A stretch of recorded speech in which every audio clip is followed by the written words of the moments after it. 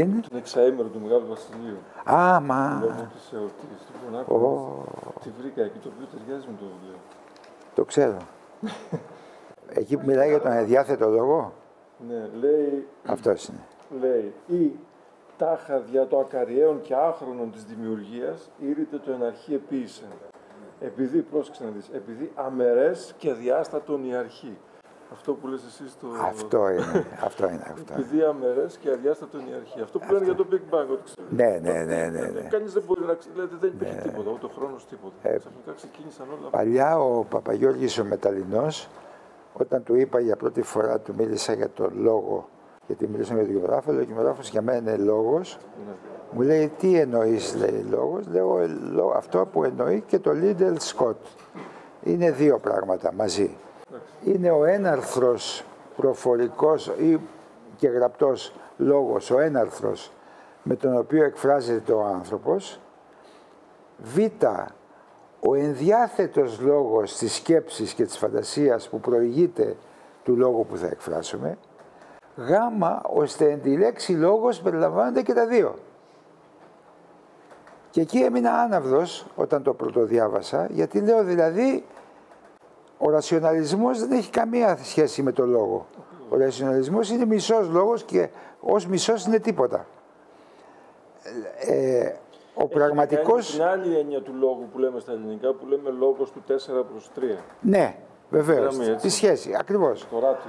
Άρα λόγος, ο υπέρτατος λόγος, σύμφωνα με το, το Little Scott, πρέπει να είναι η ποίηση, η οποία έχει περιγράφει και κάτι πραγματικό και κάτι φανταστικό που, αποτελεί, ε, που, που εντάσσεται στο χώρο του πνεύματος, του πνευματικού.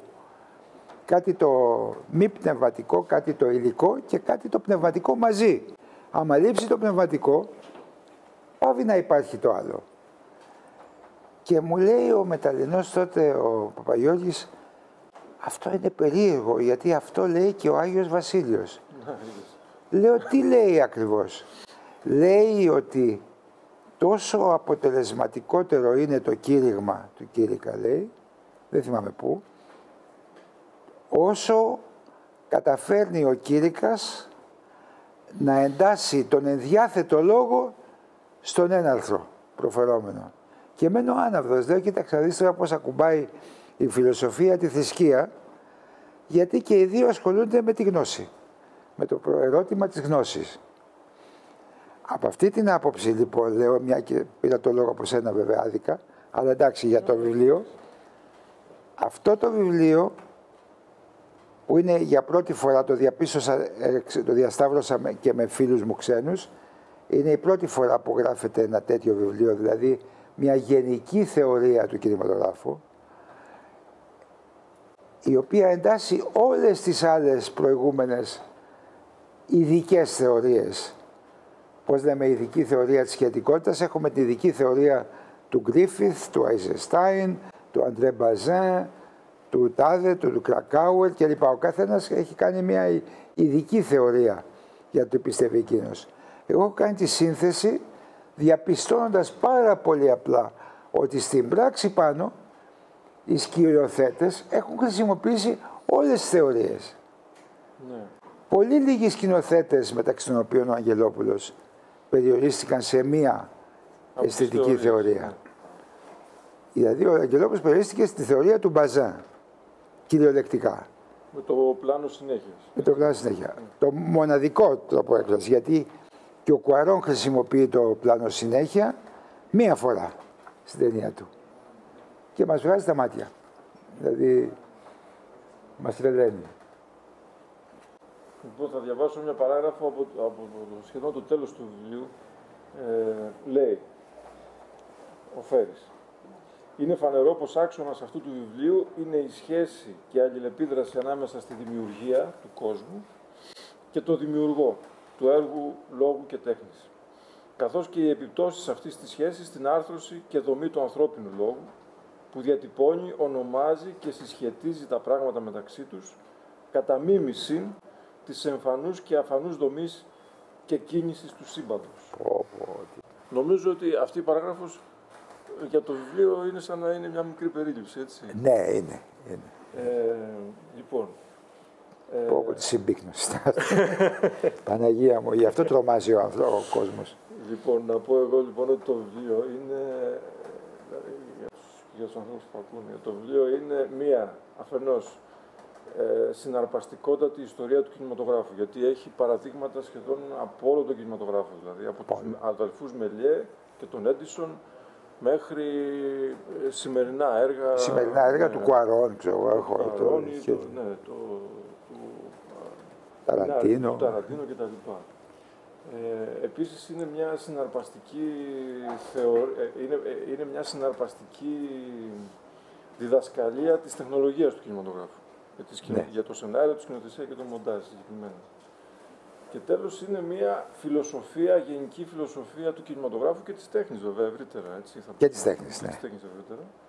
Αλλά είναι μια γενική φιλοσοφία του κινηματογράφου που προποθέτει, να το πω τώρα έτσι εγώ όπως το, όπως το κατάλαβα στο βιβλίο, ότι ο, οπτι, ο, ο οπτικοακουστικός λόγος, γιατί ο Φέρης μιλάει για οπτικοακουστικό λόγο, ε, είναι ο τρίτος στη σειρά μετά τον προφορικό λόγο, που είναι ο πρώτος ανθρώπινος λόγος στην ιστορία. Ο άνθρωπος μίλησε και διηγήθηκε παραμύθια, ιστορίες, ποίηματα, έπι, τα ομυρικά κτλ.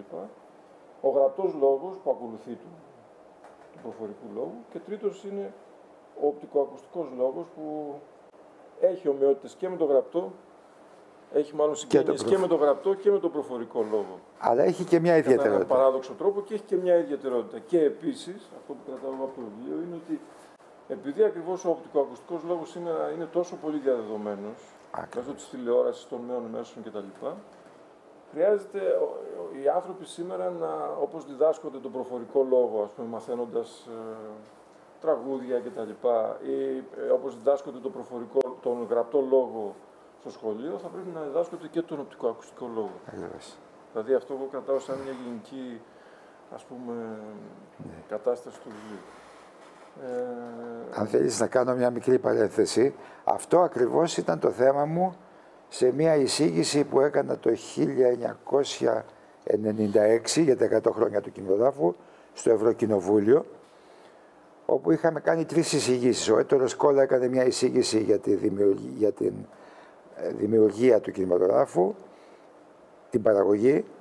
Ο Χουάν Αντώνιο Μπαρντέμ ζούσε ακόμα, έκανε εισήγηση για, το, ε, για τη διανομή των ταινιών και εγώ έκανα μια εισήγηση για τη διδασκαλία του εις γλώσσας του κινηματογράφου στα σχολεία. Ναι. Επειδή είχα να μιλήσω με πολιτικούς που δεν ξέρανε τι σημαίνει κινηματογράφος, ποια είναι η σημασία του, το έπιασα από αυτό ακριβώς το σημείο της ανάγκης να διδάσκονται οι άνθρωποι, οι μαθητές στα σχολεία, από το δημοτικό μάλιστα, μαζί με την ε, μικρική γλώσσα και τη γλώσσα του κινηματογράφου. Και έφερα ένα παράδειγμα που έχω ζήσει εγώ στη ζωή μου. Στην Αίγυπτο, μέχρι να γίνει η επανάσταση του Νάσερ, του Καμάλα Νάσερ, η πολιτική όλη και ο γραπτός λόγος όλος ήταν στην υπερκαθαρεύουσα, τη λεγόμενα Νάχαουι, που σημαίνει η γλώσσα του Κορανίου. Ας πούμε αρχαία ελληνικά περίπου. Και ο λαός που μιλούσε τη λεγόμενη γλώσσα του δρόμου, έτσι τη λέγανε, οι δημοτικοί καθομιλουμένοι, δεν καταλάβαινε τι λέγανε οι πολιτικοί. Ήταν αποκομμένοι από την πολιτική αλλά ήταν μια κατάσταση δεδομένη. Έπρεπε να είσαι πολύ μορφωμένος για να καταλαβαίνεις τι λένε. Ακόμα και οι εφημερίδες, ακόμα και τα ραδιόφωνα. Έγινε η Επανάσταση και κηρύχθηκε η Δημοκρατία, έγιναν και οι εκλογές, βγήκε και ο Νάσερ, όχι, πριν γίνουν οι εκλογές, όπου βγήκε ο Νάσερ με 99,6% και έβγαλε την ομιλία του στη Βουλή αυτό που παλιά λεγόταν λόγος του θρόνου, που τον έκανε ο βασιλιάς, τώρα τον έκανε ο πρόεδρος της Δημοκρατίας, ο Γκαμάλ Αμπτενάσερ. Και ξεκινάει με την πρώτη φράση να μιλάει όχι δημοτική, όχι καθομιλουμένη, όχι γλώσσα του δρόμου, αλλά σχεδόν αργό. Ε, εκείνη την εποχή όταν μιλούσε ένα, μια μεγάλη προσωπικότητα, κυρίως ο, ο αρχηγός του κράτους, επειδή στα σπίτια δεν είχε ραδιόφωνα παντού, όλα τα περίπτερα βάζαν το ραδιόφωνο δυνατά και μαζευόντουσαν οι Αιγύπτιοι γύρω από το περίπτερο να ακούσουν, σταματούσε η κυκλοφορία, να ακούσουν το λόγο του αρχηγού. Και ο Νάσερ αρχίζει και λέει κάτι ας πούμε παραφράζω εγώ τώρα.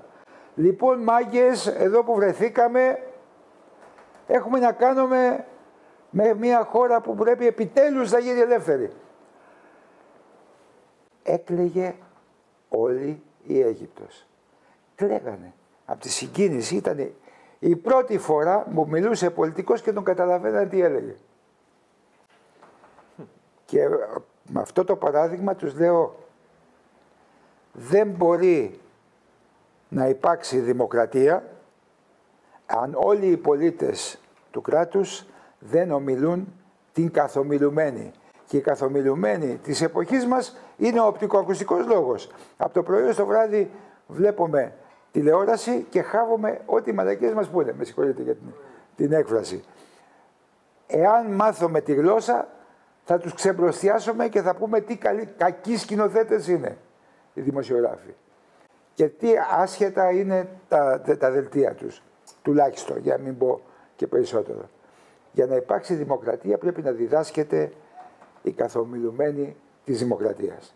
Και η καθομιλουμένη σήμερα είναι το οπτικοακουστικό. Δεν γίνεται να βλέπεις ταινία και να μην ξέρεις πώς έγινε. Γι' αυτό και οι, κάποιοι πολύ σημαντικοί σκηνοθέτες, όχι όλοι και όχι οι περισσότεροι, αλλά κάποιοι, όπως ο Κιούμπρικ, όπως ο Ταραντίνο με τον τρόπο του και άλλοι πολλοί, κάνουν ένα κινηματογράφο που αυτοαποκαλύπτεται. Δεν κρύβεται πίσω από την ψευδέστηση ότι αυτό που βλέπεις είναι α, αλήθεια και γίνεται. Αποκαλύπτουν το ίδιο το μοντάζ, αποκαλύπτουν το, την ίδια τη δομή της ταινίας, ούτως ώστε να μπορέσεις να την παρακολουθήσεις στην ουσία της, ταξιδεύοντας μέσα της. Mm-hmm. Sorry, σε, σε έκοψα. Ήταν το σημείο αυτό το, που αφορούσε για οπτικο, για τον οπτικο, τη διδασκαλία. Λόγω για τη διδασκαλία. Ναι. διδασκαλία του. Αλλά μπορούμε να πάμε όμως και στη, στην περιγραφή αυτού του... Εγώ το βρήκα πολύ γοητευτικό αυτό το σχήμα. Δηλαδή προφορικός λόγος, γραπτός λόγος, οπτικοακουστικός ναι. λόγος, που είναι ναι. στην πραγματικότητα ο λόγος του 20ου αιώνα. Ε, Μπορούμε, και... να, μπορούμε να πούμε ότι στην πραγματικότητα κανείς δεν μπορεί να καταλάβει την ανθρωπότητα του 20ου αιώνα αν δεν ε, Αδύνατο. Αν δεν δει κινηματογράφο, έτσι δεν είναι. Αυτή είναι και η δύναμη. Αυτή είναι η γλώσσα του αιώνα. Τι... να εξακολουθεί να υπάρχει μέσα στα νέα Αυτή μέσα. είναι και η απόδειξη της τεράστιας δύναμης που έχει ο κινηματογράφος, γιατί μπορούμε εύκολα να αποδείξουμε ότι διαμόρφωσε και τις πολιτικές εξελίξεις και τους πολέμους. Έπαιξε ρόλο ο κινηματογράφος. Όχι απλά και μόνο προπαγανδιστικό, αλλά και ουσιαστικό. Γιατί ο κινηματογράφος από μόνος του είναι αποκαλυπτικός μιας έξωθεν δομής. όχι μιας δομής που οργανώνει ο ίδιος ο σκηνοθέτης, αλλά μια δομή που γίνεται από το σκηνοθέτη κατά μίμηση ενός κοσμικού αρχέτυπου. Υπάρχει μια κοσμική δομή, αρχετυπική. Αυτή τη δομή τη μιμούνται όλα τα παρακάτω προϊόντα δημιουργίες του λόγου, και ο προφορικός λόγος και ο γραπτός λόγος και ο οπτικοακουστικός και ακόμα και οι συμπεριφορές της κοινωνίας κτλ. Όλα αυτά, ακόμα και τεχνολογικά αν θέλετε, η, η βιομηχανία, η μηχανική, όλα αυτά μιμούνται τις δομές του σύμπαντος, οι οποίες είναι πάντα ίδιες. Και γι' αυτό αναφέρομαι στην αλχημία, γιατί στην αλχημία η αλχημία είναι η μέθοδος σκέψης που περιορίζει τα εργαλεία σε ένα, δύο, τρία και τέσσερα. Και τέρμα. Δεν μιλάμε για, για την αλχημία των τζαρλατάνων. όχι βέβαια, έτσι. όχι βέβαια. Για έναν τρόπο σκέψης. Τρόπο σκέψης. Ναι, η αλχημία είναι η τελειοποίηση της διαλεκτικής λογικής. Η διαλεκτική λογική λέει θέση, αντίθεση, ανάλυση. η χημεία λέει κίνηση. Η κίνηση είναι πολύ σημαντικό πράγμα στο κοινογράφο. το σημαντικότερο. Αντίδραση στην κίνηση, ανάλυση και επανασύνθεση. Αυτό λέει η αλχημία. Δηλαδή το θέση αντίθεση το κάνει δράση αντίδραση, μπαίνει δηλαδή στην κίνηση, που είναι και η πραγματικότητα. Δεν υπάρχουμε έξω από το χρόνο.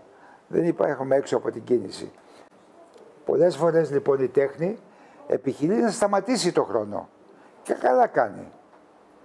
Άλλες φορές όμως έχει την ικανότητα να κινήσει το χρόνο και, το, και να τον αλλοιώσει άμα θέλει, αλλά και να το οδηγήσει στο σωστό δρόμο. Τώρα δεν μπορώ να τα πω πιο συγκεκριμένα από τόσο αφηρημένα, γιατί είναι έννοιες αρχιετυπικές, αλλά είναι το όλα μοιάζουν με όλα. Πώς προκύπτει η ομοιότητα Ακριβώς. ανάμεσα στο σύμπαν και στον τρόπο που δουλεύει ο κοινωνικός. Ακριβώς. Αυτό, άμα το, άμα το εξηγήσουμε, θα είναι νομίζω. Ακριβώς. Δηλαδή... Πώς, πώς, δουλεύει, πώς, πώς υπάρχει ομοιότητα ανάμεσα στο σύμπαν. Το σύμπαν είναι ε, ε, ο πλανήτης, η γη που κινείται. Ναι, και ναι. στον κινηματογράφο. Στην τεχνολογία του κινηματογράφου. Ακριβώς. Τι ομοιότητα υπάρχει; Ε, θα πάρω ένα παράδειγμα ε, μεσαίο, όχι του σύμπαντος ολόκληρου, γιατί εκεί είναι άπιαστα Ναι. τα, τα νούμερα και πάμε στην πυρηνική φυσική και άλλα. Το πολύ απλό, το ηλιακό μας σύστημα. Έχουμε τον ήλιο που ε, εκπέμπει το φως. Έχουμε απέναντί του τη σελήνη που ανακλά το φως και στο ενδιάμεσο έχουμε τη γη και τον άνθρωπο. Η γη δεν μπορεί να δει, από τη, γη, δεν μπο- απ' τη γη ο άνθρωπος δεν μπορεί να δει τον ήλιο κατάματα, το βλέπει στην ανάκλασή του από το φεγγάρι και από την ίδια μεριά ανακαλεί το πίσω, την πηγή δηλαδή που είναι ο ήλιος. Αυτό λέει και η αλχημία. Πηγή, ανάκλαση, πεδίο αλληλεπίδρασης α, πεδίο αλληλεπίδρασης β. Ας πάμε τώρα στο κινηματογράφο. Έχουμε μία μηχανή προβολής, που είναι ο ήλιος, με τη λάμπα. Αλλά κανείς δεν κοιτάζει τη λάμπα όμως τη μηχανή προβολής, έτσι; Κοιτάζει όμως τη Όχι λάμπα. βέβαια, δεν μπορεί να κοιτάξει τη λάμπα. Όχι μόνο αυτό, δεν μπορεί να κοιτάξει ούτε το πεδίο αλληλεπίδρασης. Θα σου πω.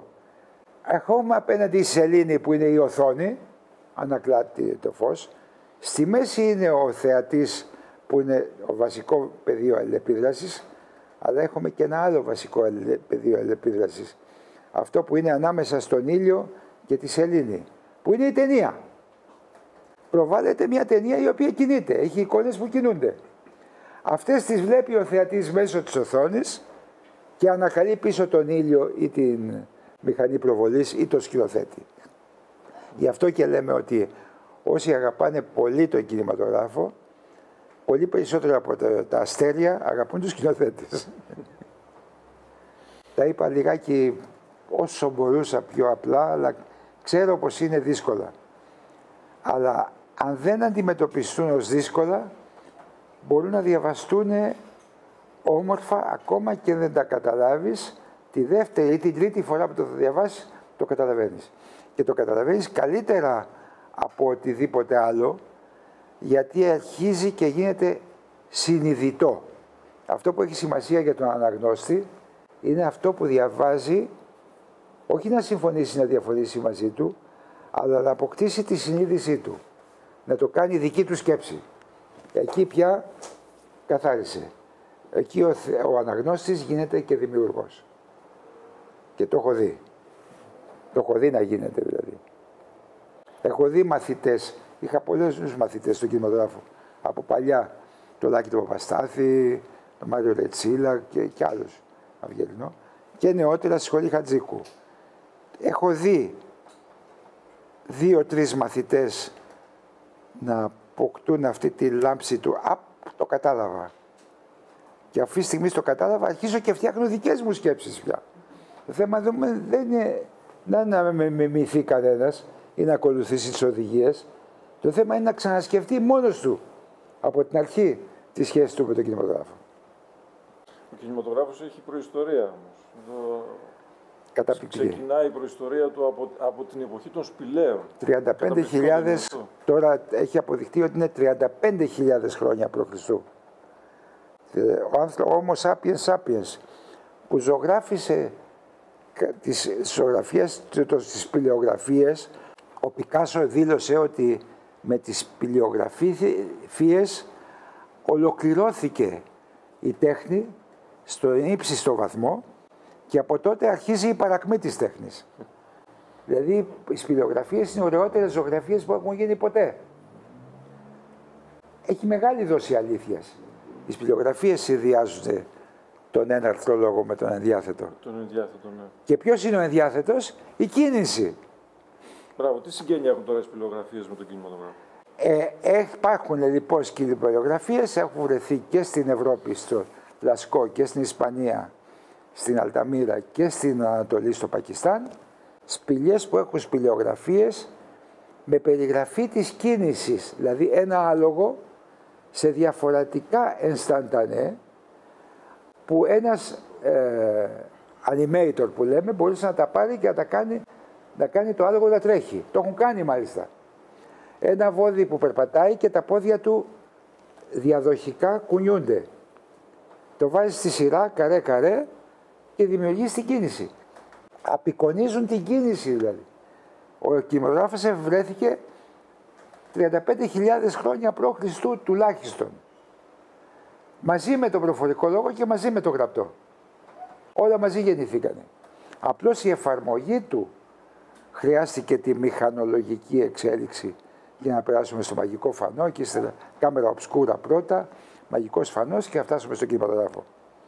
Αλλά είναι, είναι έμφυτη η ανάγκη του ανθρώπου να εκφραστεί και μέσω της κίνησης. Αυτό αποδεικνύεται από την ίδια την ιστορία. Από εκεί και πέρα όμως αρχίζει και μπαίνει η φιλοσοφία. Ας πούμε, καλά και ο Πλάτων, αλλά και πριν τον Πλάτωνα, όταν λέει ο,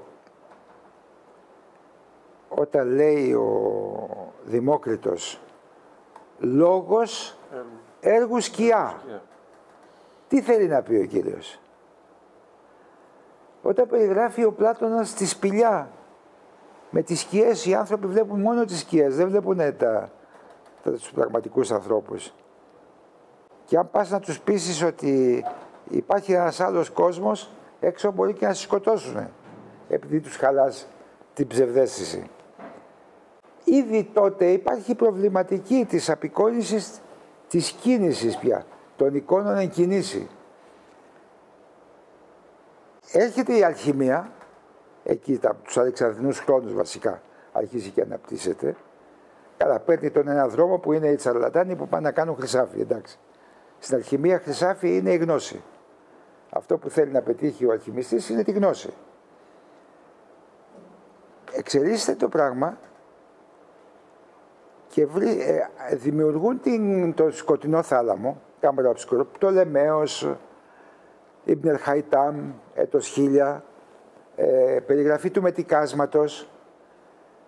Έρχεται μετά την κάμερα οψκούρα, την παίρνουν οι ζωγράφοι και κάνουν ζωγραφικούς πίνακες όπως ο, το, με το κορίτσι που έγινε και ταινία κιόλας. Χρησιμοποιήσει την κάμερα οψκούρα Ναι. για να κάνεις ζωγραφίες. Και ο Καναλέ το έκανε Ναι, και ο... Και από εκεί και πέρα έρχεται πάλι ένας αλχημιστής Ισουήτης, ονόματι Αθανάσιος Κίρχερ, και ανακαλύπτει, εφευρίσκει το μαγικό φανό. Αν ανατρέψουμε, λέει, την κάμερα οψκούρα και από, να, να βάζουμε το μάτι μας μέσα να δούμε την εικόνα που βγαίνει από το εξωτερικό, βάλουμε μια λάμπα και προβάλλουμε την εικόνα απέναντι σε μια οθόνη, κάνουμε το μαγικό φανό. Από εκεί και πέρα πια ο δρόμος ήταν ανοιχτός. Με το μαγικό φανό ήταν να βρεθεί ο τρόπος της απεικόνησης της εικόνας, όχι μόνο με ζωγραφιές, η φωτογραφία. Νίψ και Νταγκέρ και έτσι δόθηκε, ε, ε, δόθηκε η ευκολία να βγάλουν φωτογραφίες. Λέω ανεκδοτολογικά ότι η αδελφή Λουμιέρ δουλέψανε με εμπορική σκέψη. Είχαν εργοστάσιο παραγωγής, δημιουργία, παραγωγής φωτογραφιών, φωτογραφιών πλακών. Και είπε ο πατέρας, λέει, παιδιά, βρείτε ένα κόλπο για να πουλάμε περισσότερες φωτογραφίες. Αυτές που είχαν οι παλιοί φωτογράφοι, τα τζαμένια, έτσι. Τα τζαμένια, ναι. Τζαμένια, ναι.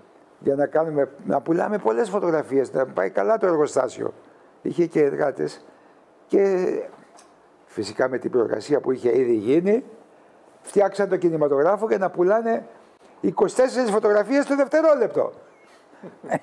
16 τότε. Οπότε πλουτίσανε. Ανεκδοτολογικό βέβαια είναι αυτό.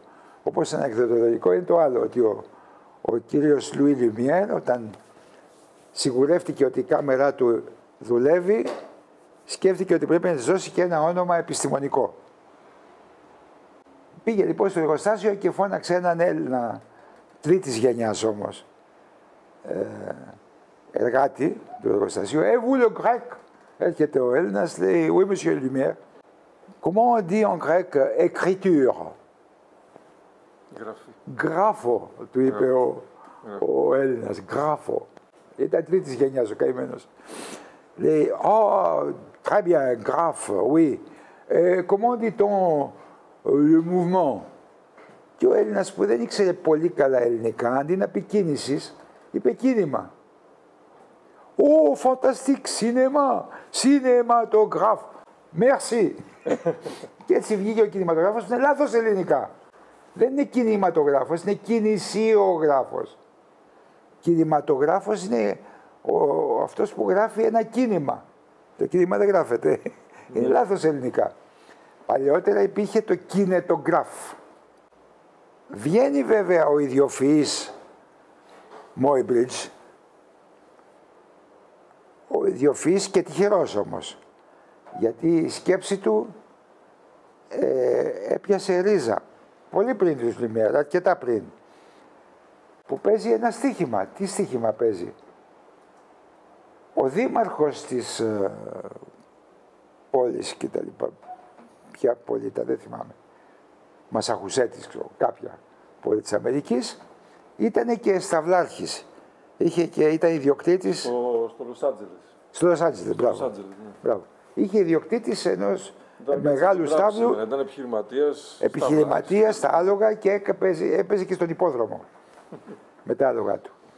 Και έβαλε στοίχημα με τους άλλους φίλους του ότι το άλογο την ώρα που τρέχει υπάρχει μία στιγμή που βρίσκεται όλο στον αέρα. Δεν είναι συνέχεια κάποιο πόδι κάτω. Λένε όχι, αποκλείεται. Στον αέρα το άλογο δεν είναι ποτέ. Πατάει πάντα. Είτε με τα πίσω πόδια είτε με τα μπρος, πατάει στη γη. Και βάζουν ένα στοίχημα πολύ μεγάλο.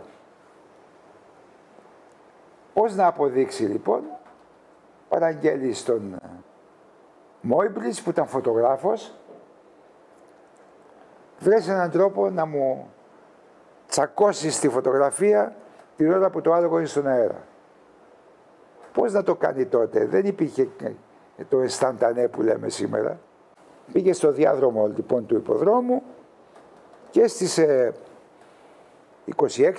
26-36 φωτογραφικές μηχανές σε απόσταση ενός μέτρου η μία από την άλλη.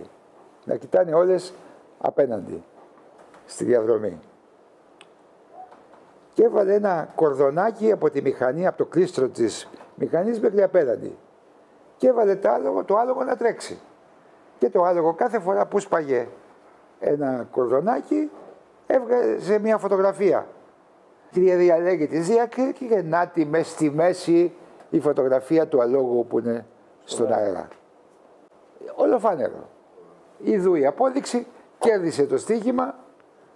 Ο, ο, ο, ο Δήμαρχος λέει, άντε σου χρηματοδοτώ να κάνεις και μια έρευνα. Α, λέει, ωραία, πολύ καλά. Κόβει λοιπόν τις 16 αυτές φωτογραφίες κυκλικά και κάνει, παίρνει ένα πραξινοσκόπιο που ήταν προβολέας με διαδοχικές εικόνες και βάζει τις 16 εικόνες τη μία μετά την άλλη και τις προβάλλει τη μία μετά την άλλη γρήγορα και ξαφνικά βλέπεις το άλογο να τρέχει, να τρέχει, να τρέχει. Καλπάζει. Το άλογο να καλπάζει. Ε, τα καλπάζει. Και μένει άναυδος. Και αρχίζουν και το παίρνουν οι άλλοι, Πώς θα το κάνουμε όμως, άντε ο Eastman να κάνει το φιλμ, το φιλμ όμως δεν μπορεί να είναι ε, πώς το λέει, συνεχές, γιατί χρειάζεται να υπάρξει ένα γάντζος για να το γαντζώνει ο Σταυρός της Μάλτας και μετά η Γκρίφα, να τραβάει το καρέ, την εικόνα, να τη σταθεροποιεί, να προβάλλεται σε κλάσματα δευτερολέπτου, να μπαίνει το φτερό, να κλείνει το φως, να αλλάζει θέση πάλι με το γάντζωμα, να σταθεροποιείται, να ξανανοίγει το φτερό για να γίνει η συνεχόμενη η, προβολή της συνεχόμενης κίνησης. Αυτό λοιπόν απαιτεί όμως κάτι στο φιλμ. Τι είναι γάντζους, δηλαδή τρύπες. Και έτσι βγαίνουν και οι τρυπίτσες. Στην αρχή μόνο από τη μια μεριά, μετά είδαν πως δεν ήταν πολύ σταθερό, βάλαν και από την άλλη μεριά. Έχει το σταυρό της Μάλτα, κραπ, σταθεροποιεί, προβάλλουν κτλ. Και από εκεί και πέρα άρχισε ο αγώνας μέχρι να φτάσουμε στην τελειοποίηση του μηχανήματος. Ο Έντισον το χρησιμοποίησε για το κινητοσκόπιο, κινητο, κινητοσκόπιο, ναι, όπου ήταν σαν την παλιά κάμερα που σκουρεύαζε τα μάτια σου σε μια τρύπα και έβλεπες μια λούπα να κινείται. Εντάξει. Ένα πουλί που πετάει, ένας άνθρωπος που παλεύει. Και ξανά και ξανά και ξανά. Ένας θεατής το βλέπω αυτό, κατηδίαν. Ένας. Ένας. Ένας. Ο Ντίξον όμως πιο πονηρός, η ουσία του ο Έντισον δεν είναι τίποτα. Ο, ο πραγματικός εφευρέτης είναι ο Ντίξον. Και του προτείνει μια μέρα να κάνουμε μια τέτοια προβολή σε αίθουσα κινηματογράφου για πολύ κόσμο. Και του λέει ο Έντισον δεν είσαι καλά. Θα χάσω εγώ την ευκαιρία να πουλάω ένα νίκελο κάθε ένας στο κινητοσκόπιο για να δίνω μια και καλή σε 10 θεατές, 20 θεατές την ταινία. Δεν, το, δεν συμφέρει οικονομικά. Και φεύγει ο Ντίξον και πάει και συναλλάσσεται με μια άλλη εταιρεία, τη Μουτοσκόπ, και κάνει το δικό του σύστημα προβολής. Δεν είναι όμως ακόμα τελειοποιημένο. Εκεί υπάρχει ένα μυστήριο βέβαια, το οποίο θα βαραίνει πάντα, για πάντα τον κινηματογράφο. Υπάρχει ένας από αυτούς τους ερευνητές, στη Λιόν βασικά, όχι ο Πλατό. Αυτό, αυτό δεν έχει γίνει ταινία ποτέ. Θα έχει... Ταινία δεν έχει γίνει ακόμα. Έχει γίνει ντοκιματέρ όμως. Ένα πολύ καλό ντοκιματέρ. Ναι, ο Λεπρίνς. Λεπρίνς, ναι. Ο Λεπρίνς. Ο Λεπρίνς λοιπόν, ο οποίος είναι γνωστό, όλοι αυτοί κάνουν συνέδρια φωτογραφικά τα λένε κάθε τόσο. Η Λουμιέρ, ο Κλαντανόφσκι, ο, ο, ο Πολ από την Αγγλία, ο Λεπρίνς κλπ. Κάνουν διάφορα συνέδρια και ανταλλάσσουν πληροφορίες. Και είναι και ο πόλεμο με τις πατέντες. Κάθε ένας που βρίσκει κάτι το πατεντάρει. Έρχεται λοιπόν ο Λεπράνς και λέει παιδιά το βρήκα. Την έκανα την κάμερα μου. Καταπληκτική, δουλεύει υπέροχα. Να ο Σταυρός της Μάλτας, να το φιλμ, να το αυτό. Αποχαιρετάει τους δικούς του, παίρνει το τρένο να πάει στο, Παρίσι. και από εκεί να πάει στην Αγγλία κατά πάσα πιθανότητα, αλλά κυρίως στην Αμερική για να πατεντάρει την κάμερά του. Και στο Παρίσι δεν φτάνει ποτέ κανένα, κανένα τρένο με κάμερα και κανένα τρένο με πλατό. Ο, ο πλατό, όχι, ο Λεπράνς. Ο Λεπράνς εξυφανιστεί μαζί με την κάμερα του. Και σε δύο μήνες εμφανίζεται ο Ντίξον στην Αμερική, με τον Έντισον ακόμα, να φτιάχνει τη μηχανή. Τσακώνεται ο, ο Ντίξον με τον Έντισον. Είναι σαν του κινηματογράφου Ναι, είναι. είναι Τσακώνεται ο Ντίξον με τον Έντισον. Φεύγει, πάει και κάνει μια αίθουσα κινηματογράφου με προβολές μικρών ταινιών των τριών λεπτών, των δύο λεπτών στην Αμερική, τη Μούτοσκοπ και τη σκηνή αγωγή ο Έντισον για κλοπή της πατέντας. Τότε η Μούτοσκοπ με τον ίδιο τον Ντίξον, που δεν μπορεί να είναι άσχετος, για να υπερασπιστεί την ε, πατέντα που υποτίθεται ότι είναι του Ντίξον και όχι του, του Έντισον, ούτε το ενός ούτε το άλλου, θυμάται την εξαφάνιση του Λεπράνς. και φωνάζει την οικογένεια του Λεπράνς, τη γυναίκα του και το γιο του, να έρθουν μάρτυρες για να αποδείξει ότι ο, ο Έντισον δολοφόνησε, υπάρχουν πρακτικά, έγινε δίκη που κράτησε πολλά χρόνια, δολοφόνησε του Λεπράνς για να του κλέψει την πατέντα. Τελικά δεν το δέχτηκε το δικαστήριο, χωρίς να, να πει το αντίθετο. Την έχασε τη δίκη η Μουτοσκόπ και τελικά έκαναν συμφωνία με τον Έντισον να γίνουν στετέροι. Και αγόρασε ο Έντισον τη Μουτοσκόπ. Ο Δε Ντίξον εξαφανίστηκε. Έφυγε από την Αμερική, πήγε στην Αγγλία, μετά χάθηκε στην Αφρική.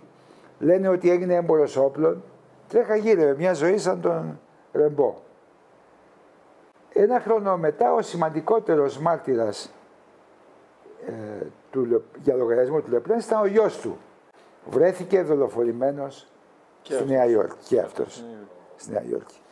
δηλαδή είναι ένα μυστήριο το οποίο δημιουργεί πολλά ερωτηματικά.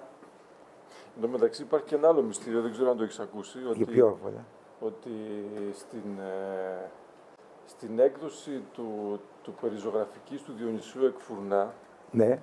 το οποίο κυκλοφόρησε στο Παρίσι πριν από την εφεύρεση των Λιμιέρ, ναι, ναι, πριν ναι. την εφεύρεση της φωτογραφίας, ναι, ναι. Ότι μέσα αυτός είχε βρει και είχε ξεσηκώσει, αυτό ήταν ένα χειρόγραφο της, ε, της ε, ερμηνείας της ζωγραφικής του Διονυσίου, που το είχε κάνει ο Σιμονίδης, αυτός ο διάσημος παραχαράκτης. Μάλιστα. Τώρα, αν υπήρχε στην, ε, στην ερμηνεία ή ο Σιμονίδης το πρόσθεσε, αυτό είναι ένα μυστήριο. Αλλά λέγεται ότι στο χειρόγραφο που έστειλε στο Παρίσι για να εκδοθεί ο Σιμονίδης, πριν την εφεύρεση της φωτογραφίας αυτό, υπήρχε και η συνταγή της φωτογραφίας, της αποτύπωσης δηλαδή ε, εικόνα Ναι. ε, αυτόματης από, το, από τον ήλιο κτλ. Νομίζω κάπου το λες ότι στην αρχαιότητα υπήρχε μια τέτοια. Ας Ο, πούμε, στις τραχίνιες του Μπράβο. Σοφοκλής δεν είναι; Σοφοκλή, ναι. του Σοφοκλέους. Υπάρχει ένα χωρικό που λέει για ένα υλικό στο οποίο όταν πέφτει το φως, φως, μπράβο. αποτυπώνεται και δημιουργεί την εικόνα του εξωτερικού χώρου που έχει αποτυπωθεί. Έτσι αφηρημένα. Ναι. Αλλά υπάρχει σε- με σαφήνεια. Είναι... Υπάρχει πάντως η... Περιγραφή της υπάρχει φωτογραφίας. πάντως το μυστήριο, εν πάση περιπτώσει, το οποίο το έχω ακούσει από σοβαρούς ανθρώπους. Ναι. Ότι ο Σιμονίδης έστειλε αυτό το χειρόγραφο, οι Παρισινοί εκδότες θεωρώντας, ή- είτε θεωρώντας ότι είναι άσχετο με την ερμηνεία της ζωγραφικής του Διονυσίου, Άμα. είτε ε, κάποιος ε, το υπέκλεψε για να το ερευνήσει αν ισχύει κτλ. Αυτή η συνταγή κτλ. Δεν τυπώθηκε πάντως μαζί με το Κατάλαβα. υπόλοιπο βιβλίο αυτό το... Σε αυτό- ποια πόλη έγινε; στο, στο Παρίσι έγινε. στο η έκδοση. Παρίσι. Στο Παρίσι έγινε. η Στο έκδοση. Παρίσι όπου γινόταν τακτικά η- στο συνέδριο των φωτογράφων. Μπράβο. Ναι. Και μάλιστα η πρώτη προβολή του σινεματογράφ των, ταινιών, των 10 αυτών ταινιών που Των έκανε Lumière. τον Λιμιέρ δεν έγινε στις 28 ε, Δεκεμβρίου του 1995 μεταξύ Χριστουγέννων και Πρωτοχρονιάς στο Παρίσι αλλά έγινε πάλι στο Παρίσι στις 22 Μαρτίου για το συνέδριο των φωτογράφων. Και εκεί τους έκανε και, και ένα κόλπο ο Λιμιέρ. Το, το είχε, είχε διαδοθεί ότι κάτι γίνεται και την ώρα που φτάνουν οι φωτογράφοι όλοι με τα καπέλα τους, τα ημίψηλα, τώρα υπάρχει σε εικόνα, είχε μια κάμερα η οποία τους τράβαγε. Και αυτοί βλέπανε την, την κάμερα και χε- μερικοί χαιρετούσε, χαιρετάνε κιόλας και λοιπά και μπαίνουν μέσα στο συνέδριο. Μέχρι να τελειώσει το συνέδριο τα είχε, το είχε εμφανίσει, το είχε τυπώσει και του το έφερε και τους το πρόβαλε στην ίδια την αίθουσα ο, ο Λουί Λιμιέρ. Και πέσαν ξέρει όλοι, είδαν τον εαυτό τους πριν από μια ώρα, δύο ώρες ξέρω εγώ. Λοιπόν, αλλά γιατί λέμε ότι η πρώτη προβολή είναι το Δεκέμβρη, της 28 Δεκεμβρίου; Γιατί είναι η, για να υπάρξει κινηματογράφος πρέπει να υπάρξει όχι μόνο ταινία, όχι μόνο αίθουσα, όχι μόνο οθόνη, όχι μόνο μηχανή προβολής, αλλά και θεατής. Η προβολή. Εισιτήριο. Εισιτήριο. Και εισιτήριο. Το εισιτήριο. Αν δεν υπάρξει εισιτήριο, δεν υπάρχει σινεμά. Γι' αυτό και η προβολή στις 22 Μαρτίου δεν πιάνεται. Ναι. Αλλά έπεσε πολύ συγκίνηση όταν πολλά, πολλές δεκαετίες ε, πολλές δεκαετίες, πολλές δεκαετίες μετά, χωρίς να έχουν τη συνείδηση της ημερομηνίας, οι φοιτητές της Ναντέρ ιδρύσανε το κήρυμα της 22ης Μαρτίου, το Mouvement du 22 που είναι το κήρυμα που δημιούργησε το Μάιο του 68. 22 λοιπόν, εμείς ξέραμε ότι είναι η πρώτη ημερομηνία προβολής κινηματογραφικής ταινίας. Αυτοί δεν το ξέρανε. Όμως αποδείχτηκε ότι ήταν και κινηματογραφόφιλοι. Γιατί η πρώτη διαδήλωση που κάνει το Mouvement du Vendeur ήμουνα και εγώ εκεί λόγω κινηματογράφου, ήταν η διαδήλωση που κάναμε στη Σινεματέκ για τον uh, Μαλρό που είχε απολύσει τον Λαγκλουά από διευθυντή της Σινεματέκ. Ο ίδιος ο ιδρυτής της Σινεματέκ απολύθηκε από τον Μαλρό και έγινε μια διαδήλωση φοβερή όπου πετάχτηκε και ένας νεαρός με φακίδες, κοκκινομάλης που είπαν αυτός, αυτός είναι ο Κον Ήταν η πρώτη εμφάνιση του κινήματος 22 Μαρτίου. Ίσως λοιπόν κάποιος του ψηφίδησε του Κον Μπεντίτ ότι 22 Μαρτίου είναι τα εγγένεια του κινηματογράφου. Οπότε εδώ είναι κινηματογραφικό το θέμα, πάμε. Κάπως έτσι. Λοιπόν, ε, ε, θέλω να μας εξηγήσεις λίγο πώς σχετίζεται η λειτουργία της μηχανής με τη λειτουργία του, του ηλιακού συστήματος. Η λειτουργία Α, δηλαδή της κινηματογραφικής μηχανής. Ναι. Η κινηματογραφική μηχανή είναι, είναι ένα σύνθετο πράγμα. Είναι ένα, σύνθετο. Είναι ένα, είναι ένα κουτί. Στο οποίο όμως βάζουμε μέσα τον ήλιο. Τη λάμπα την έχει μέσα του το κουτί. Δεν είναι η λάμπα που φωτίζει, ο ήλιος που φωτίζει τον εξωτερικό χώρο και το βλέπουμε μέσα στην κάμερα οψκούρα σε αντανάκλαση και ανάποδα, όπως γινόταν μέχρι τότε. Εδώ μπαίνει η λάμπα, ο ήλιος μπαίνει μέσα στη μηχανή. Οπότε προκύπτει η ανάγκη της μιας εικόνας που να προβάλλει. Ερχόμαστε λοιπόν στο θέμα του φιλμ, που αντικατέστησε τις πλάκες κλπ. κλπ. Η εικόνα όμως αυτή πρέπει να συνεχίζεται, δηλαδή να, να, να κινείται. Για να κινείται πρέπει να προβάλλονται πολλές και διαδοχικές εικόνες το του αντικείμενου, δευτερόλεπτο. Αυτό υπήρχε πρόβλημα. Πώς θα γίνει, άμα τραβήξεις συνεχόμενα το φιλμ, βλέπεις μια φλού εικόνα. Έπρεπε να, να μπει, όπως είπα πριν, ο Σταυρός της Μάλτας, που αργότερα έγινε γρίφα, δηλαδή αγκιστρώνει, κατεβάζει, σταθεροποιεί, το φτερό το οποίο κρύβει, τι κρύβει, το μυστικό. Ποιο είναι το μυστικό, της ίδιας της κίνησης της πραγματικής. Γιατί αυτό που θα αναπαραχθεί είναι μια μίμηση κίνησης. Είναι σταθερές εικόνες που δίνουν την ψευδέστηση της κίνησης. Η κίνηση πραγματική κρύβεται. Όπως στην αρχαία τραγωδία, οι σημαντικές πράξεις, δηλαδή ο φόνος του Πενθέα, η, η, του Αγαμέμνονα, του Αγαμέμνονα κτλ. δεν γίνονται επί σκηνής, είναι κρυφά. Είναι ύβρις να τα ανεβάσεις στη σκηνή. Έτσι λοιπόν έρχεται το φτερό, κρύβει, ετοιμάζεται η άλλη θέση, φεύγει το φτερό, προβάλλεται. Και ούτω καθεξής. Και αλλάζει και... Αυτά λοιπόν έχουν τον ήλιο μέσα, άρα το πεδίο ελεπίδρασης γίνεται η εικόνα που θα προβάλλει, δεν είναι πια η αντανάκλαση, η ανάκλαση, αλλά είναι η φωτογραφία που γίνεται πεδίο ελεπίδρασης. Η ανάκλαση είναι ανάκλαση, η οθόνη και όλο αυτό το πράγμα το σύστημα μπαίνει σε ένα μηχανισμό που κάνει αναπαραγωγή της κίνησης.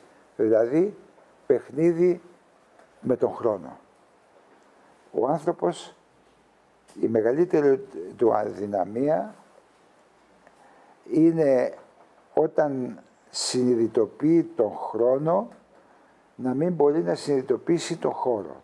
Και όταν συνειδητοποιεί τον χώρο να μην μπορεί να συνειδητοποιήσει τον χρόνο. Ο άνθρωπος που καταφέρει να συνειδητοποιεί και τα δύο συγχρόνως λέμε πως είναι φωτισμένος. Λέω. Αυτό λοιπόν το παιχνίδι ανάμεσα στον χώρο που στην πραγματικότητα δεν υπάρχει γιατί όλα κινούνται. Απλώς ο χώρος είναι μία ανάγκη της μνήμης να πάρει μία ανάσα. Δεν μπορεί συνέχεια να συνειδητοποιεί ο άνθρωπος τα πράγματα εξελίσσονται και καλά και πάμε και πάμε και πάμε και πάμε που προς το θάνατο. Εντάξει, στο προς το θάνατο πάμε, αλλά θα το λέμε όλη την ώρα ότι πάμε προς το θάνατο. Κάποια στιγμή έχεις ανάγκη να θυμηθείς και κάποια πράγματα, να πας λιγάκι πίσω και αυτός ο χώρος σου πίσω της μνήμης είναι χώρος. Η μνήμη δεν είναι χρόνος. Ο χρόνος των εικόνων επαρέρχεται στα όνειρα. Στη μνήμη όμως την ίδια είναι στατικές οι μνήμες μας ως επιτοπλίστων. Σαν φωτογραφίες. Σαν φωτογραφίες. Στατικές. Είναι η ανάγκη της ανάκλησης του χώρου, ο οποίος δεν υπάρχει, αλλά είναι η ανάπαυση του πολεμιστή. Είναι ανάγκη του ανθρώπου να παίρνει και μια ανάσα κάθε τόσο στη σκέψη του. Και ο κινηματογράφος έρχεται εδώ για να θυμίσει και το ένα και το άλλο. Γιατί όλοι... ο χρόνος κυλάει, αλλά και ότι μπορεί και να σταματήσει κιόλας. Και σταματάει, σταματάει αυτομάτως σε κάθε... Δηλαδή, μια ταινία αποτελείται από πολλά πλάνα, λέμε. Καμιά φορά αποτελείται από ένα πλάνο. Σπάνιο, αλλά εντάξει. Πολλά πλάνα. Πλάνο είναι η ενότητα κίνησης από ένα σημείο σε ένα άλλο.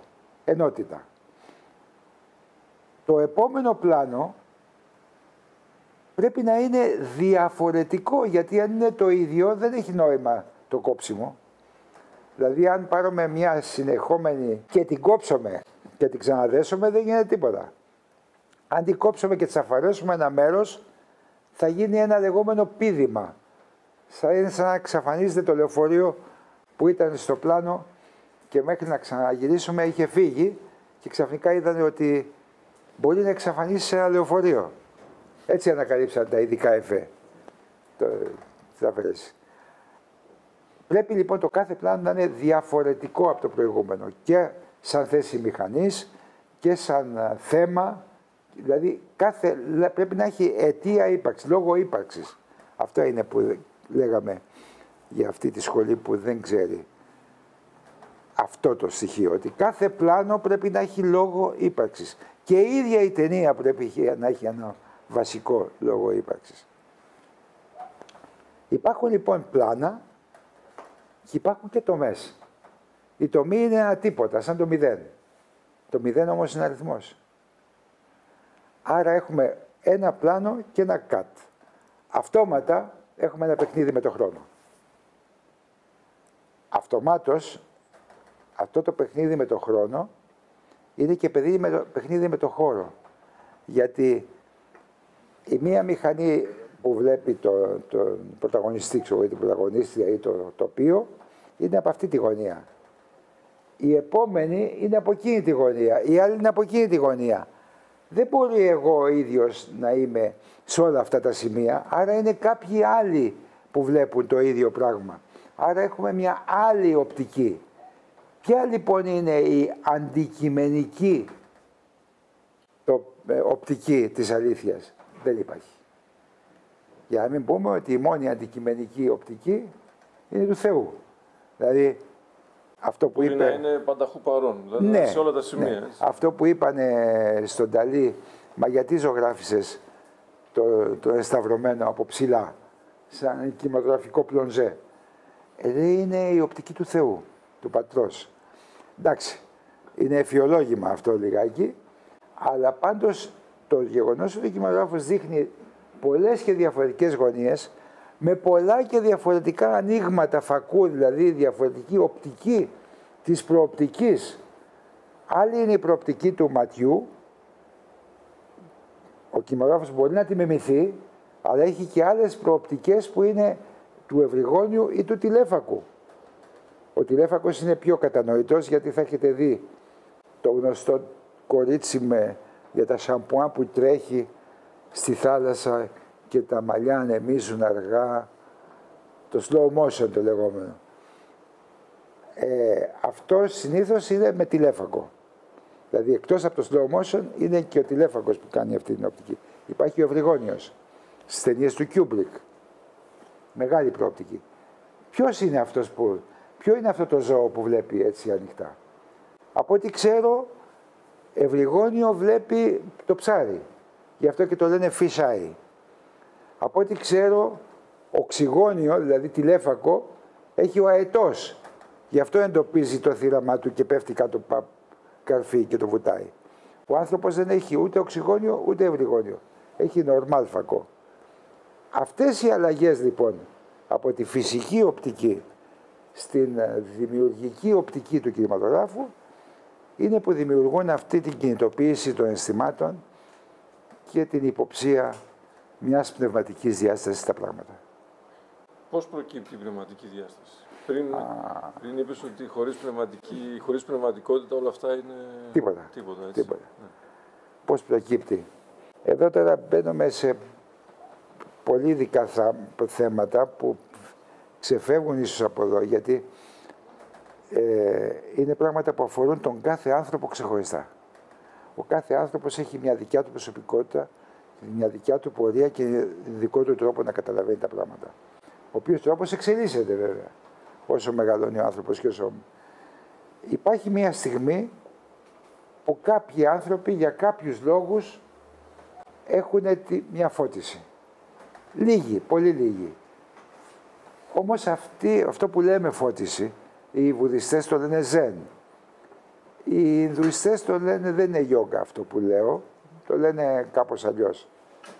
Ε, τα πιο κοντινά είναι η Θεία Χάρις, η Αγιορείτικη ή το Ζεν των Βουδιστών, τα πιο κοντινά. Είναι η στιγμή όπου γίνεται αυτή η έκλαμψη, συνειδητοποιεί ο άνθρωπος την ίδια την ύπαρξή του μέσα σε ένα ενίο κόσμο, δεμένο, ενωμένο, μέσα στο φως και από εκεί και πέρα δεν είναι όλη την ώρα σε κατάσταση έκστασης. Αν ήταν όλη την ώρα σε κατάσταση έκστασης θα πέθαινε. Επιστρέφει, αλλά επιστρέφει με τη γνώση της έκστασης, με τη γνώση της ενότητας του κόσμου με τη γνώση της αγάπης ή με την αγάπη της γνώσης, αν θέλετε να τα πάμε και τα δύο μαζί. Αυτό δεν συμβαίνει σε όλους τους ανθρώπους. Όμως, μέσα από το παιχνίδι των συναισθημάτων κυρίως, αν καταφέρει ο σκηνοθέτης να κινητοποιήσει ένα ουσιαστικό αίσθημα, ένα βαθύ αίσθημα, το ίδιο το αίσθημα, αυτό καθε αυτό. Χωρίς να λέμε συνέστημα γιατί είμαι ερωτευμένος με την τάδε ή τον τάδε. Χωρίς να λέμε ε, συνέστημα γιατί ε, βλέπω κάτι το ωραίο. Ένα συνέστημα, ένα αίσθημα καθαρό είναι αυτό που σε κάνει να συνειδητοποιήσεις ότι έτσι όπως είναι τα πράγματα είναι κατά μίμηση ενός συμπαντικού κόσμου. Όταν συνειδητοποιήσεις όμως, έστω και υποπτευθείς, έστω και συνειρμικά σου έρθει η σκέψη ότι α, κοίτα να δεις, όλα τα πράγματα μοιάζουν μεταξύ τους.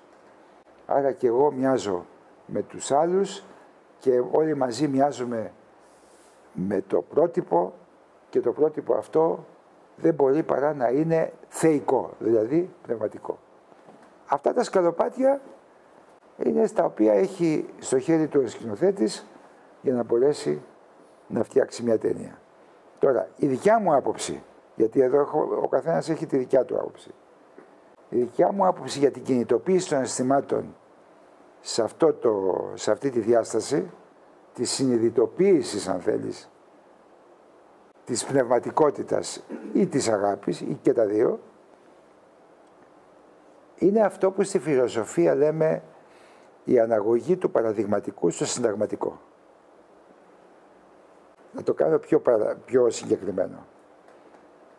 Όταν έχεις για πρωταγωνίστρια μία γυναίκα και αυτή η γυναίκα λέγεται Μαρίκα. Πάμε στο ρεμπέτικο κατευθείαν. Αυτή η γυναίκα έχει μια ζωή προσωπική, η ίδια. Τι έχει υποστεί στη ζωή της, και τι αντιλαμβάνεται η ίδια στη ζωή της.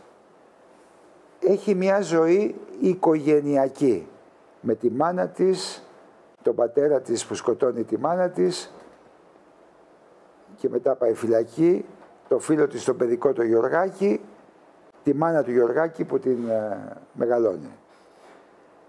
Έχει μια, ένα επίπεδο επαγγελματικό. Μπαίνει στη δουλειά και αρχίζει και πληρώνεται γιατί τραγουδάει σε ένα πάρκο και ανεβαίνει επαγγελματικά.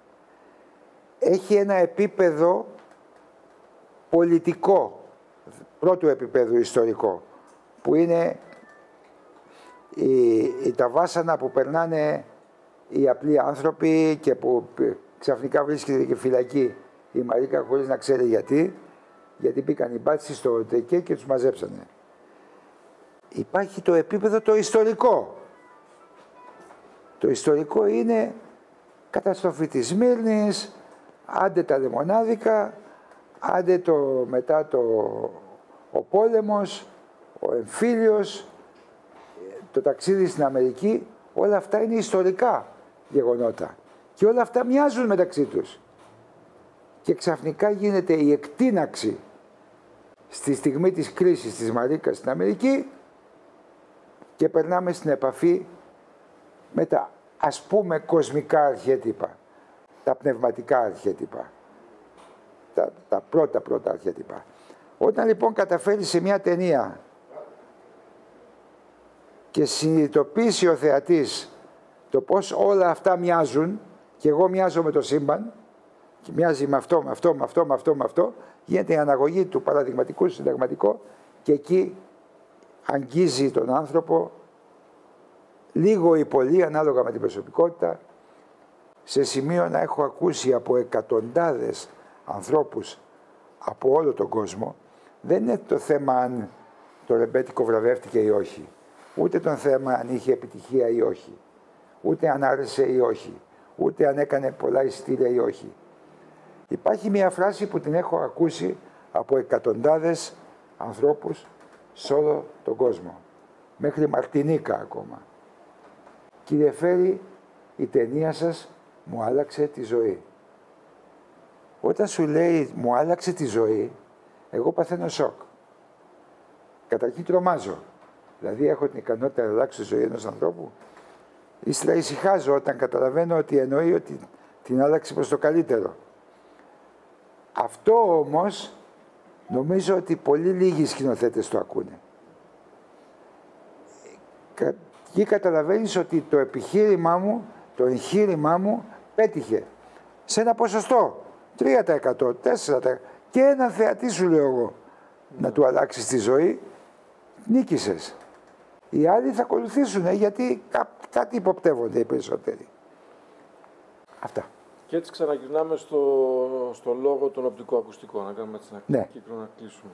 Δηλαδή, Ακριβώς. ο, ο προφορικός λόγος, ο γραπτός λόγος, ο οπτικοακουστικός λόγος. Ναι. Ποια είναι η μεταξύ τους σχέση; Α, μάλιστα. Καλά, καταρχήν ο οπτικοακουστικός λόγος που τον λέω εγώ κινησιογραφικό, αλλά Κινησιογραφικό. επειδή δεν είναι δόκιμος, γι' αυτό λέω οπτικοακουστικό δεν καταλαβαίνουμε καλύτερα. Χρησιμοποιεί και το προφορικό λόγο και το γραπτό το λόγο. γραπτό λόγο. Το γραπτό λόγο έτσι κι αλλιώς για να γραφτεί το σενάριο. Αλλά και γρα- γραπτά γιατί α, ήδη από το κυβικό κινηματογράφο είχαμε και τίτλους ενδιάμεσους. Τις περισσότερες φορές ξένες ταινίες έχουμε υπότιτλους. Ε, παίζει ρόλο και ο γραπτός λόγος. Έχουμε γράμματα που διαβάζονται κτλ. Ο προφορικός λόγος είναι αυταπόδεικτος, εκτός από το διάλογο, έχουμε και πάρα πολλές ταινίες που έχουν την κορύφωση με ένα μονόλογο. Ένα κανονικό θεατρικό μονόλογο. Όχι μόνο σαν του Αντώνιου στον ε, Ιούλιο Κέσαρα, που βγάζει το μονόλογο του το περιβόητο. Και όμως ο Βρούτος ε, μου λέει ότι αυτός ε, και λοιπά. Έχουμε τον Τσάρλι Τσάπλιν στο Δικτάτορα, που τον ανεβάζουμε και του λέει μίλα. Τι να πω. Μίλα, του λέει, τα πλήθη περιμένουνε. Και εκεί βγάζει το μονόλογο. Ο δικτάτορας μιλάει για ειρήνη και αγάπη και αδελφοσύνη. Ένας μονόλογος ολόκληρος, κατεβατό. Έχουμε τον ε, Αλ Πατσίνο στο Άρωμα γυναίκα- άρωμα στο άρωμα γυναίκας. γυναίκας. μπαίνει στο πανεπιστήμιο να υπερασπιστεί τον φίλο του τον νεαρό και βγάζει ένα μονόλογο, ένα φιλιππικό για το σύστημα παιδείας, για το καλλιεργείται και βρίζοντας μάλιστα ο τυφλός. Φοβερός μονόλογος. Υπάρχει μια άλλη ταινία κλασική, ξεχνάω τον τίτλο της, που είναι ένας δάσκαλος που τον ε, συναντάνουν οι Γερμανοί στο τέλος, που βγάζει ένα φοβερό μονόλογο για το κατά του πολέμου. Πάρα πολλές ταινίες χρησιμοποιούν το μονόλογο σαν κορύφωση του δράματος. Το λέμε λόγια. Από εκεί και πέρα έχουμε πάρα πολλά στοιχεία του προφορικού και του γραπτού λόγου που τα χρησιμοποιεί ο οπτικοακουστικός με το δικό του τρόπο, με τη δικιά του ιδιοτυπία. Δηλαδή, οι σύνδεσμοι, ανά, κατά, διά, μετά, παρά, αντί, αμφί, περί, επί, από, υπό και υπέρ. Το θυμάμαι από το γυμνάσιο. Έχει και ο κινηματογράφος. Το παρά είναι η, παράθεση. Η παράθεση είναι τεχνική. Βάζεις αυτό το, ε, πώς το λένε, λέει ας πούμε ο λογοθετήδης, τι θα, θα πάω και θα του χτυπήσω την πόρτα. Και το επόμενο πλάνο είναι μια πόρτα που τη χτυπάει. Αυτό λέγεται παράθεση. Ε, να το παρά που πάει. Ε, και πολλά άλλα. Υπάρχουν, υπάρχει το ρακόρ, δηλαδή ο σύνδεσμος στην κίνηση. Υπάρχει ο σύνδεσμος στο βλέμμα, το υποκειμενικό ή μη υποκειμενικό. Υπάρχει ο σύνδεσμος στον άξονα, που υπάρχουν και τα απαγορεύεται. Υπάρχουν, ε, τα επιτρέπεται, υπάρχουν και τα απαγορεύεται. Δηλαδή όταν έχεις δύο ή περισσότερα πρόσωπα, πρέπει να υπολογίσεις το ποιοι είναι δεξιά και ποιοι είναι αριστερά. Και να τραβήξεις μια γραμμή την οποία η κάμερα δεν θα την υπερβεί ποτέ. Γιατί αν ο Γιάννης είναι αριστερά και η Μαρία είναι δεξιά και μετά πάω από πίσω και ο Γιάννης είναι δεξιά, ε, αριστερά και η Μαρία είναι δεξιά, θα κάνει πίδημα. Θα μας προσανατολίσει το χώρο. Και υπάρχει λόγος. Γιατί; Γιατί έτσι που, που ζούμε στη φυσική μας, φυσική μας όραση, μπορούμε να φανταστούμε με τη φαντασία μας λίγο πιο δεξιά, λίγο πιο αριστερά, λίγο πιο έτσι. Αλλά ποτέ δεν μπορούμε να φανταστούμε ότι ο, αυτός που είναι δεξιά θα έρθει αριστερά και αυτός θα πάει δεξιά. Το ίδιο ισχύει και στην κίνηση. Έχει ο Σπότης ούτε ένα παράδειγμα καταπτικό. Ένα τάγκς που διασχίζει την εικόνα, πλάγια. Το ίδιο τάγκς που έρχεται από το βάθος προς τη μηχανή. Το ίδιο τάγκς φεύγει από τη μηχανή και πάει προς το βάθος. Πάντα από αριστερά προς τα δεξιά. Με αυτή τη φορά. Ναι, με αυτή τη φορά. Και ξαφνικά είναι το ίδιο τάγκς που κινείται από την άλλη μεριά και είναι από δεξιά προς τα αριστερά. Και γράφει από κάτω Who is this, the enemy? Ποιος είναι αυτός ο εχθρός; Αν πηδήξει τον άξονα... Για να έρχεται από την άλλη μεριά είναι ο εχθρός. Ε, ναι, από την άλλη μεριά είναι ο εχθρός. Αλλά είναι το ίδιο τάγκ. Είναι λάθος άξονα. Ε, υπάρχουν λοιπόν σύνδεσμοι. Υπάρχει ορθογραφία. Η ορθογραφία είναι να στήσεις το πλάνο με τέτοιο τρόπο που το κέντρο του ενδιαφέροντος να διακρίνεται είτε με τη χρήση της χρυσής τομής, είτε με το φωτισμό, είτε με το net, είτε με ένα καλό τρόπος. Αλλά πρέπει να είναι εμφανής η πρόθεση της εικόνας. Να ξέρεις που θα πάει το μάτι. Αυτό λέγεται, ε, αυτό είναι ορθογραφία. Υπάρχει γραμματική. Πού είναι το εγώ, πού είναι το εσύ, πού είναι το εμείς. Πώς εκφράζονται αυτά τα πράγματα.